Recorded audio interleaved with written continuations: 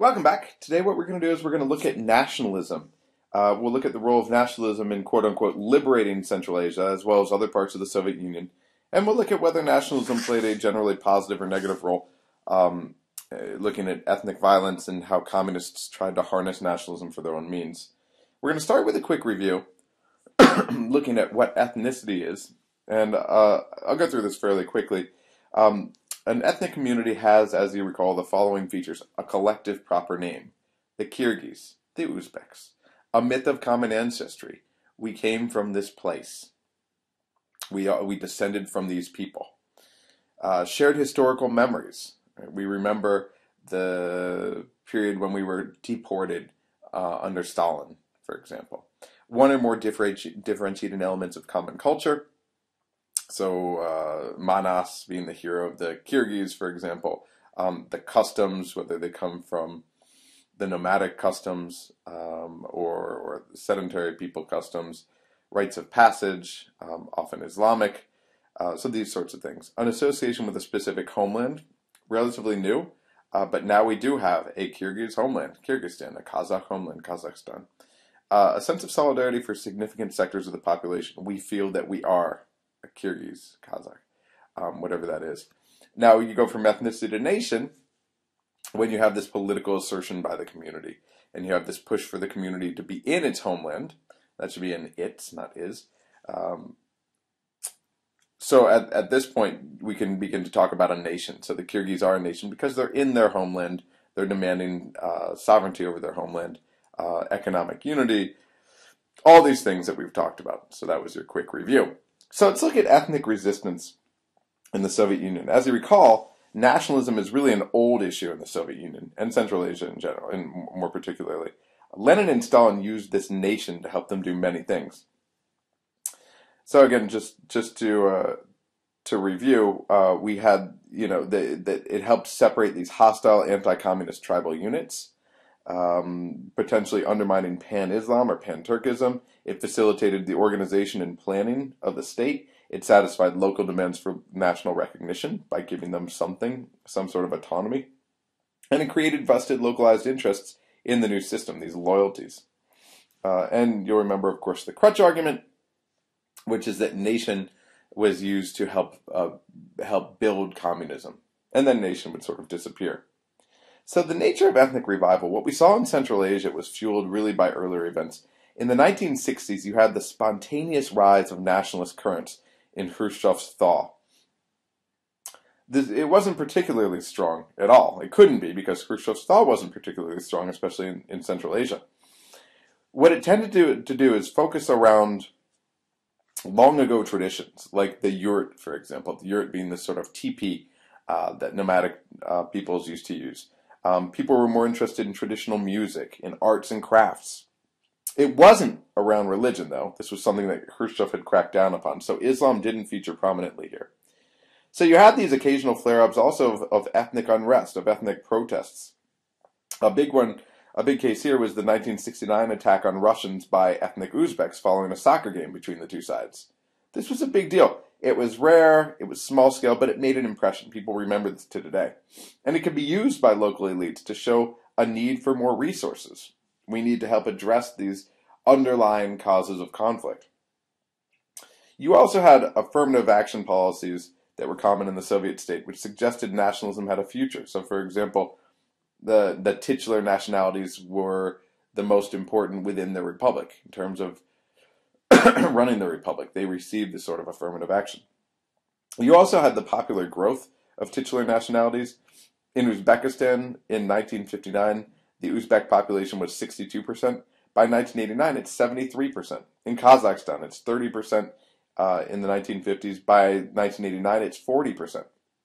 So we're still relatively small. It's certainly not a homogenous nation state or a nation state even, uh, but but an increase in the number of titular nationalities living there, members of the titular nationality, I should say. So this was caused by naturally high population growth, but also some outflow of non-titulars, especially in the 1980s, who were disadvantaged uh, in that republic, uh, whichever republic it would be.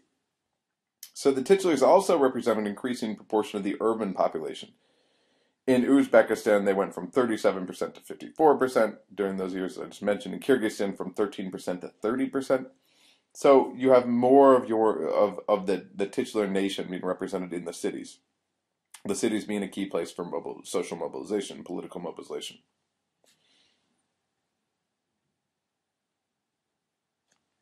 Uh, just, I guess, for a quick review uh, of the political ethnic structure.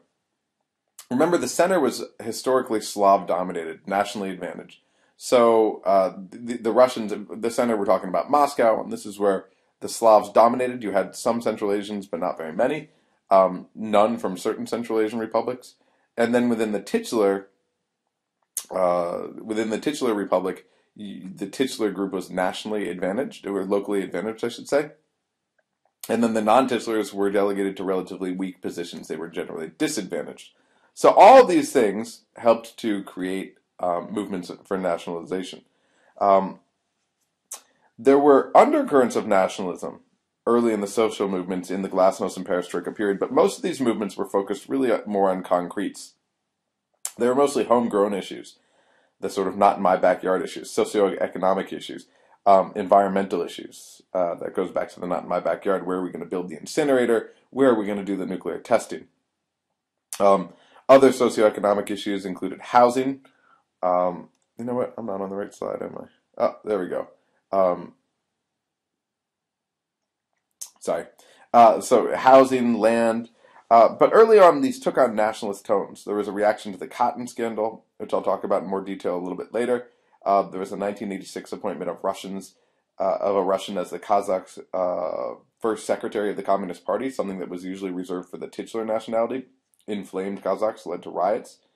Only later it evolved into this nationalist agenda, including um, language, for example. and this raises an economic argument. It's not about ethnicity at all, perhaps, but about control of resources. There were reasons to doubt the emergence of a strong nationalist movement in Central Asia um, at the time that all this was going on. You had the dominance of family and clan identities before 1917. There was this Soviet man, which I've talked about, that was fostered since the 1930s. You also had a population that was so multinational by this point. You had all these different nations represented. At the same time, nationalism is the emphasis of us versus the other. Soviet nationality policy actually strengthened this. So you can think of those three types of actors that I talked about back here those at the center, the titular, and and non-titular. What they were doing is they were pitting these groups against each other, and that in itself created more and more nationalism. Again, there was a competition for resources between these groups, which could lead to nationalist agendas. Uh. And the outcome of this was this rising nationalism uh, in the early 19, uh, late 1980s, early 1990s. So between 1989 and 1991, all five Soviet Central Asian republics passed language laws emphasizing the prominence or the, the dominance of their own language.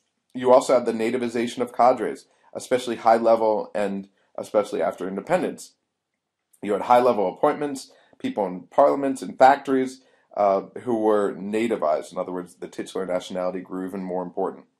Uh, you also had cross border shows of force. Uzbeks in Osh, which is in Kyrgyzstan, for example, held a referendum on actually joining Uzbekistan, joining the Uzbek Republic. Remember, this is before independence. This wasn't officially condoned by the Uzbeks, but there, there were some winks and nods going on there. Interestingly, nationalism in the West is often a movement of the downtrodden. But the greatest nationalist movements in the Soviet Union were actually led by groups characterized by the highest levels of education, the highest socioeconomic status within the state, the greatest level of political power. So, in particular, these included Armenians, Georgians, Estonians, Central Asians who were comparatively comparatively disadvantaged along these fronts came much later to this nationalist movement. That's why we've got really 1989, 1990, and especially 1991. And this is likely because these masses, those with the greatest economic or social status, were the ones most often hitting up against the glass ceiling, which I discussed earlier, which was one of the big reasons the Soviet Union fell. So they were hitting against this glass ceiling versus most of the nationalities within Central Asia were not. So uh, again, in particular, I'm talking about people in the Baltics, the Georgians, the Armenians, who had high, higher socioeconomic statuses and expected more from the system. The Central Asians were much further down. So the equation here is that these republics and these peoples were getting dividends through redistribution, but the economy was faltering. the money was devoted to the arms race, and so these dividends were actually falling. At the same time, they had greater numbers of educated people who were better off, and, and they had a growing population who sought to join the privileged class. And remember, in Central Asia, again, you didn't have this as much. This is what caused nationalism in the Soviet Union.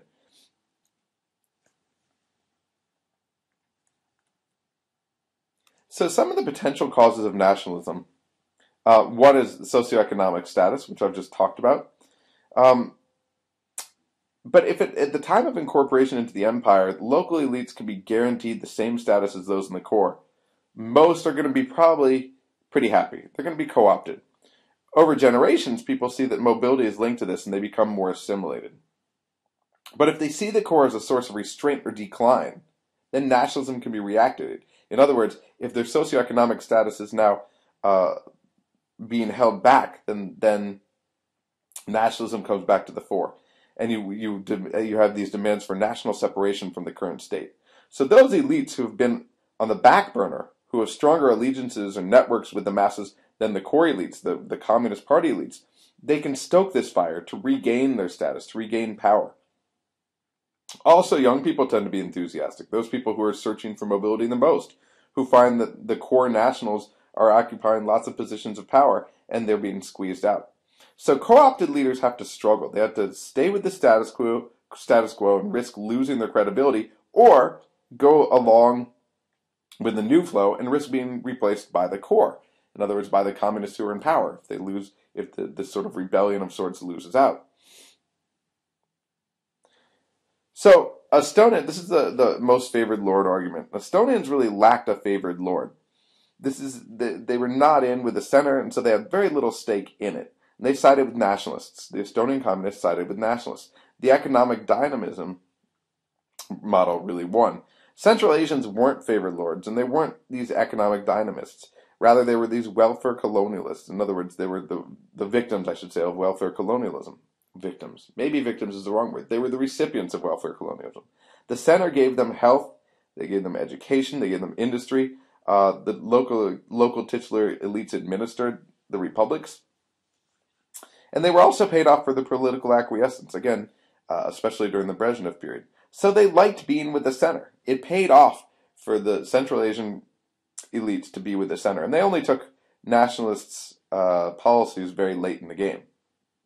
Now, note here that clan identification frequently appears uh, in Central Asia rather than ethnicity. Karimov, for example, was running Uzbekistan through appointments of his people from Samarkand. In Kazakhstan, the Great Horde versus Lesser Horde uh, were competing for political positions. So now that we know some of the goals of nationalism, empowerment, and why we have nationalism, let's talk about the ugly side, ethnic fighting. Actually, I'll take this on a new set of slides.